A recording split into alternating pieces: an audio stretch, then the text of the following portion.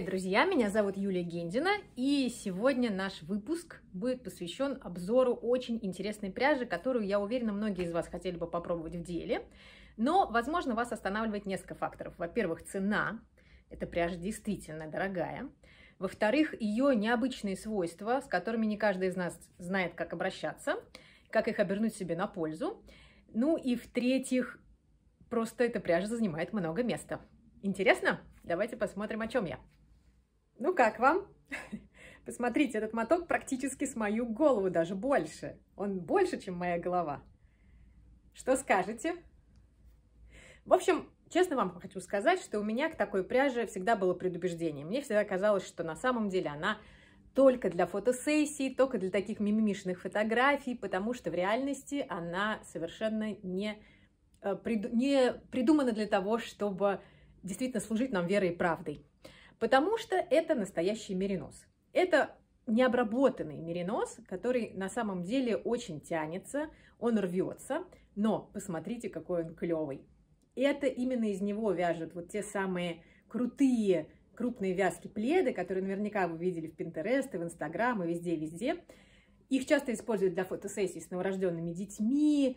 А, часто такие пледы изображены на фотографиях с такой нежной, вытянутой, слегка женской ногой. В общем, очень круто все это смотрится. Мне всегда хотелось попробовать, но как же это происходит все на практике? Итак, давайте посмотрим на этот чудо-моток поближе. Что же это за полотно? Это меринос. Стопроцентный меринос. Он, видите, как распушается, он не обработан, не скручен, ничего. То есть вот он прям буквально легким движением распушается на тонкие-тонкие волокна. Если его так распушить, а потом начать полномерно растягивать, то он в конце концов порвется. Никакого сильного усилия для этого не нужно. Но если его обратно скрутить, то крепкая нить абсолютно. Что надо знать про это полотно? Видите, оно какое пушистое? Конечно, оно будет скатываться. А все пледы, связанные с такой пряжей, скатываются довольно быстро. За ним придется ухаживать. Кроме того, вопрос стирки тоже остается, потому что простая стирка угробит ваше произведение искусства и превратит его в тряпочку. Но ощущения неимоверные, потому что очень мягкое полотно, вот очень мягкое вот это вот, даже не знаю, как это назвать, ну, прям мягчайшее. И, конечно, укутаться потом в такой плед или прислониться к такой подушке будет удовольствием. Но давайте попробуем в деле всю эту штуку. Конечно, можно вязать а, спицами или толстым крючком любое полотно, которое вы хотите. Можно вязать даже спицами руками, но мне, честно говоря, очень непривычно это делать в данном случае, потому что, ну, то есть все-таки хочется делать это спицами. Видите, не, не получается, не, неудобно. Сейчас мы еще раз попробуем. А вот. Вот, наверное, сейчас получится. Ну, проще, конечно, вот, да. Вот у меня на пальце две начальных петли. Вот, и дальше можно набирать и пальцами вывязывать лицевые изнаночные петли. Они получатся очень рельефными, а, можно это делать прямо здесь на руке. Но проще, повторю, взять все-таки спицы. Можно и имитировать крючковое полотно. Сейчас мы, например, с вами попробуем что-нибудь из круга сотворить без волшебного кольца, а прям вот так вот. Начнем просто как будто бы обвязывать наше кольцо. Вот видите, я просто пальцами имитирую крючок и получаю такую очень рельефную штуку.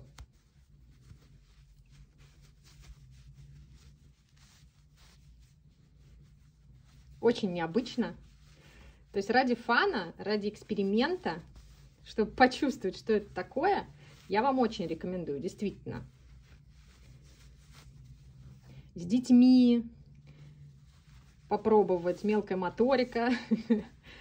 А, очень круто, на самом деле, привлекать к вязанию таким образом людей, у которых нет никакого опыта и которым кажется, что это адски сложно. Вот просто продемонстрировать, знаете, как в экспериментариуме, что посмотри, вообще не сложно. И сразу все получается, и сразу большое полотно. Так, сейчас вот я думаю, что будет небольшая сложность провязать два столбика. Ну нет, ничего. А, конечно, пальцы уже начинают потихоньку неметь. Безусловно, а, можно руки заменить толстым, толстым крючком. Крючки такие есть, как и спицы. Тут нет никакой проблемы. Давайте поглядим, что у нас получается. Ну, очень круто. Смотрите.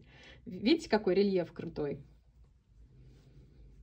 И это может быть, не знаю, там небольшой коврик, но только очень аккуратного использования. Это может быть какая-нибудь декоративная такая, знаете, подушка, потому что она сама по себе толстая, не требует наполнителя, просто подложить или просто украсить ею там диван. Очень кайфовая штука. Можно по прямой такую связать. Можно связать, собственно, лежанку для вашего кота или маленькой собачки, но что произойдет с этой лежанкой через какое-то время пользования, тоже понятно. Смотрите, какая прям. Ух, видите, по э, масштабу. вот моя рука. И вот какая косичка получается. Это может быть кашпо. Я вот сейчас, например, сейчас я вот этот ряд довяжу. И э, сделаю такие небольшие стенки. Посмотрим, что получится. Вот такая, тут всего два ряда, вот такой кругляшок. Это уже, я думаю, сантиметров тут 15. Да какой 15? Уже даже больше. А, большой прям действительно. Очень клевый по ощущениям. Сейчас я в этом следующем ряду провяжу в каждый столбик по одному, чтобы у меня закруглились стенки. И получится такая небольшая корзинка. Ну вот смотрите, что получилось. Вот я провязала еще один ряд без прибавок. Стенки у меня закруглились, получилось вот такое вот лукошко. Это может быть, ну, небольшой лежанкой для кота, для его попы, возможно, только. Ну, потому что размер совсем все-таки небольшой. Вот для масштаба. Э, может быть, кашпо, если еще связать пару рядов вверх. Но, конечно, прям рельеф крутейший. И у меня на эту небольшую штуку, сейчас я вам скажу, сколько она сантиметров. Сейчас мы прям с вами измерим. 24 сантиметра диаметром. У меня ушло, в общем, почти половина моего мотка. А, то есть из одного килограмма получится вот таких вот две небольших корзиночки или одна большая лежанка, ну, в которой ваш кот все-таки уместится. И обратите внимание вот на ворс, да, то есть уже еще пока не используется, но все это будет скатываться просто неимоверно и тут же. Даже еще пользоваться не начнем, уже начнет скатываться. Но, безусловно, по тактильности это превзошло все мои ожидания, вот эта вот штука. Вот такая вот получилась у нас корзинка кашпо. Конечно, это больше арт-объект, это больше декоративный объект, безусловно. То есть тут э, я не собираюсь вступать с вами в споры, что это дико необходимая для дома вещь. Но вот в качестве арт-объекта, в качестве предмета действительно декора, чтобы удивить себя, гостей, близких, чтобы каждый смог так немножко вот пощупать. Можно здесь хранить какие-то приятные мелочи можно действительно как кашпо. В общем, действительно, это интересная пряжа для интересных идей и экспериментов.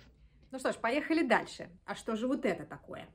Это, как утверждает производитель, уже даже не пряжа. Это, по сути, трикотажная лента. Если вы приглядитесь, это ткань. Из этой ткани сшита небольшая такая труба и внутри синтепоновый наполнитель. Вот в таком мотке, видите, вот такой он, здесь 50 метров. На что хватит 50 метров – ну, как мне объяснили, на небольшую такую корзину. А, эта корзина может быть лежанкой, например, для вашего кота. А, возникает, конечно, вопрос сразу по э, свойствам. А, вопрос, насколько такая корзина для вашего кота, например, будет долго жить. Но это выясняется только в процессе ее пользования. Конечно, такая трубка, да, такая трикотажная труба, в основном предназначена для вязания руками. Это прекрасная возможность поэкспериментировать с детьми, например, или э, заразить человека, который никогда не вязал, этим делом рукодельным, потому что для этого не требуются никакие инструменты. Можно прям руками, пальцами сообразить какую-нибудь интересную штуку. Давайте посмотрим поближе. Теперь давайте перейдем к нашему следующему лоту. Это, конечно, более приятная в обращении штука, потому что здесь нет э, всех проблем, связанных с мериносом, здесь никакие нитки не торчат. Очень гладкая трикотажная трубочка вот такая, внутри которой синтепон. Зачем она нужна? Вот видите, здесь прямо трубочка сшита и внутри синтепон.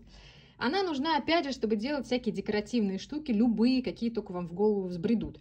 Ну, плед из нее уже не так актуален, потому что он будет и тяжеловат, и, в общем, не так приятен, и не греет, и ничего. А здесь скорее будут интересно смотреться всевозможные подушки, которые завязывают узлом. Или можно также имитировать вязание крючком или спицами. Но в смысле вязания спицами не знаю, что бы это могло быть. Может быть, коврик, например. А в вязании крючком могла бы быть какая-нибудь интересная сидушка. То есть давайте посмотрим просто, как в полотне будут ложиться петли. Это я сейчас просто как будто бы крючком набираю цепочку воздушных петель. Вот у меня эта цепочка.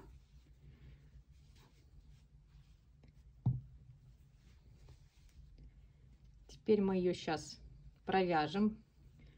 Я переверну и буду цепляться вот за вот эти вот боковые перемычки.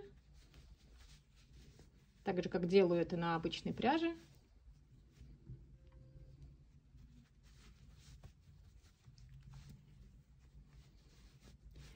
Э, снова скажу, что с детьми вообще кайфово, наверное, будет. Потому что сразу все видно. Другое дело, что пальцы у них устанут. Но в качестве демонстрации, или можно там, вы протягиваете, а ребенок уже, например, через две петли протягивает. Смотрите, какая штука. Такая, знаете, по ощущениям, как зефирная немножко.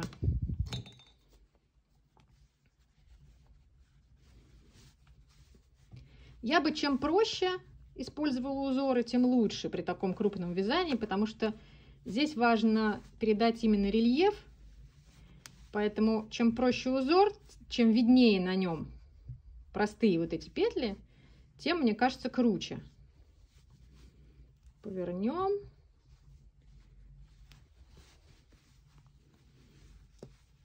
И вот так вот провяжем. Это просто классическое вязание крючком по прямой, но из-за того, что оно такое крупное, это все приобретает вид действительно арт-объекта.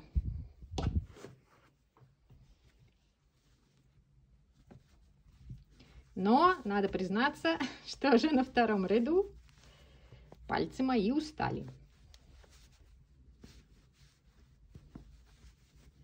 Так, сейчас довязываем этот ряд. Посмотрим. Очень мягкая, очень приятная. Опять же, можно ведь не пальцами, можно взять крючок толстый. Такие крючки существуют, это уже не редкость. Кстати, на такой пряже круто обучать. Не только детей, но вообще всех, потому что очень хорошо видны все петли. Ну вот, смотрите. Ну, прям как фото из Пинтереста. Круто? Вот видите, как они прям ложатся. Толстая такая прям штука, толстая. Это действительно ну, таким может служить украшением.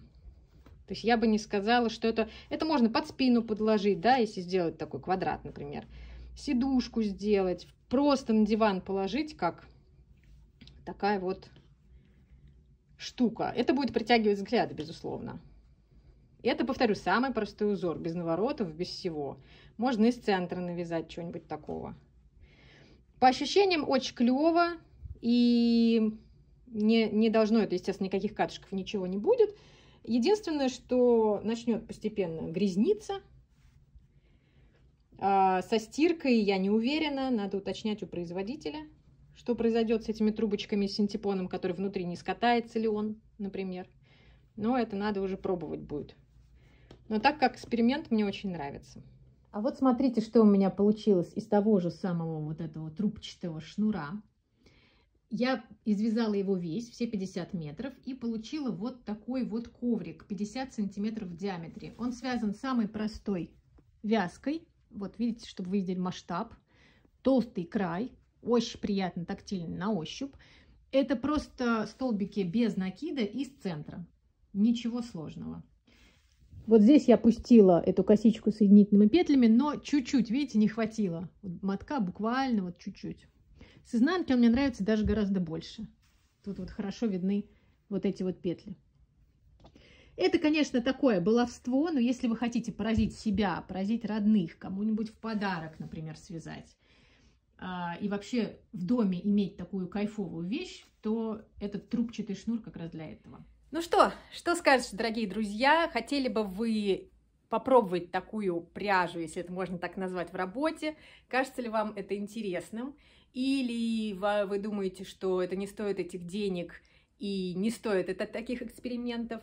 Считаете ли вы, что предметы декора, связанные из такой вот пряжи, из такой вот, например, трубочки трикотажной, будут ли они действительно украшением дома или это какая-то блажь? Мне очень интересно, поэтому жду ваши комментарии вот здесь, под этим видео. Буду их читать внимательно и обсуждать с вами. Будем экспериментировать дальше.